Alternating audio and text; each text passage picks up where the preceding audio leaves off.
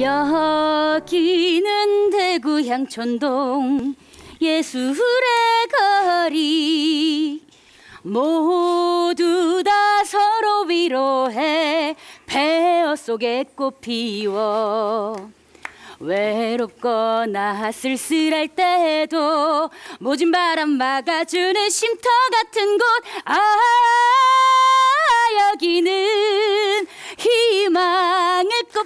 꽃 피우는 대구 향천동 예술의 거리 아 이모 여기 막걸리 한주 전자. 어서 들어오게. 안녕하세요 어. 조국은 허리가 두 동강 난 병신이 되고 그리고 피 비린내 나는 전쟁. 아, 우린 정녕 꿈에서만 고향을 만날 수 있단 말인가. 아 고향을 그리면서 또 한 잔 마시다. 축세!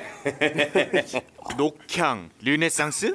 아, 전쟁 중에는 육군 본부와 유엔군 사령부를 출입하던 그 외국 기자들이 폐허 더미 속에서도 바흐의 음악이 들린다 라고 외신에 소개했던 클래식 음악 감상실 말이지 이야 대구에 그런 곳이 있었어? 아이, 그렇다니까 우리나라 최초의 클래식 음악 감상실 녹향 이 작품은 우리 대구의 향촌동이 예, 한국 전쟁 전후에서는 한국의 중심가가 되는 그런 지역입니다.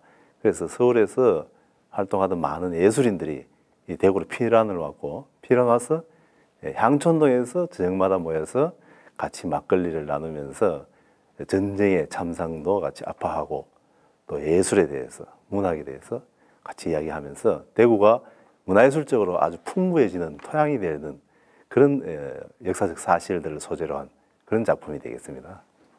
창파에 씻긴 조약돌 같은 색시의 마음은 갈매기 울음소리에 수심져 있나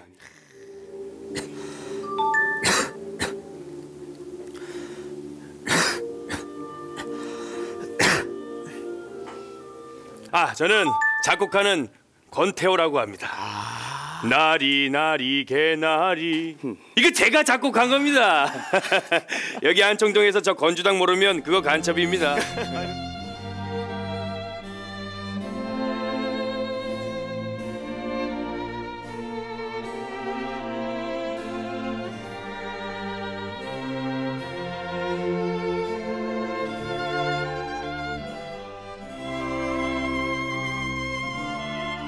반갑습니다. 반가워요.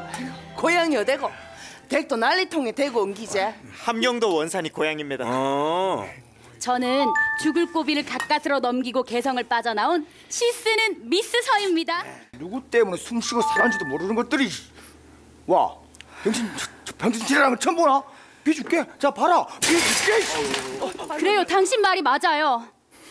생사를 넘나들고 목숨 걸고 있는 우리 젊은 장병 등 생각하면 우리가 이렇게 술 마시고 춤추고 노래하면 안 되는 거겠죠